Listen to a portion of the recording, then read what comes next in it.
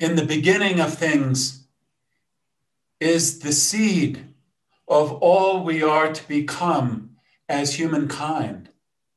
And you and I carry that seed within us just, just as surely as we carry the seeds of our DNA.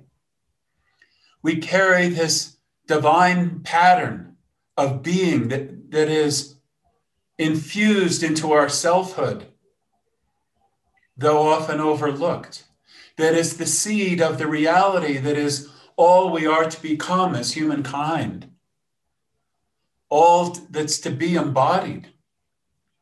Just as individually we have that seed that has been planted within us, that is the core reality of us, planted in our soul, present in our soul, that the wonderful one within, the spiritual being who we are, planted there. And the seed of that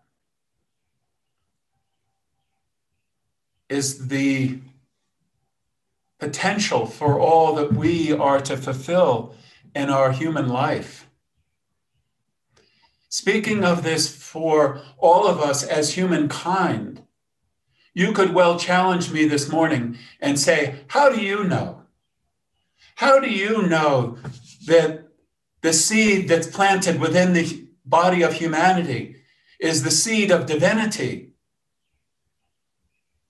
that holds within it the potentiality for our oneness, for one love to take over and be expressed? How do you know that there's the one life of this one, what do we call it, oversoul? This one unifying being that we're all a part of.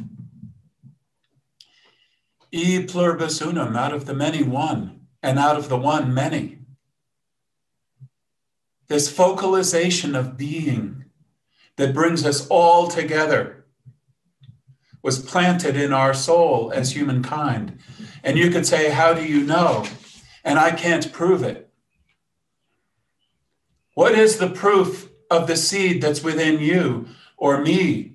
Or what is the proof of the seed that's within all humankind?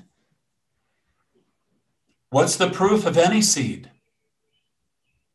Is it not the fruit that grows from that seed? That is the proof.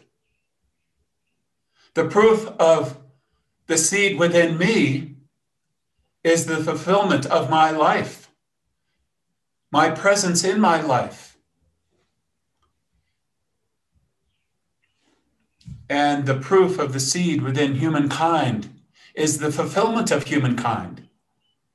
It sounds like a chicken and egg problem.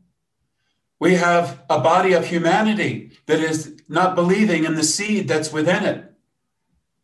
But you can't prove that the seed is there until that seed is allowed to take fruit. And it doesn't take fruit unless a human being opens to it and allows it to be real in their experience.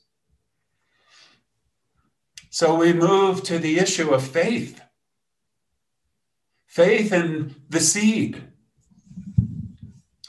faith in the seed that's planted within us, and then our ability to tune into that seed, that ability that we have in the human experience in ourselves to tune into that reality uh, that's present at the core of our own soul, the seed.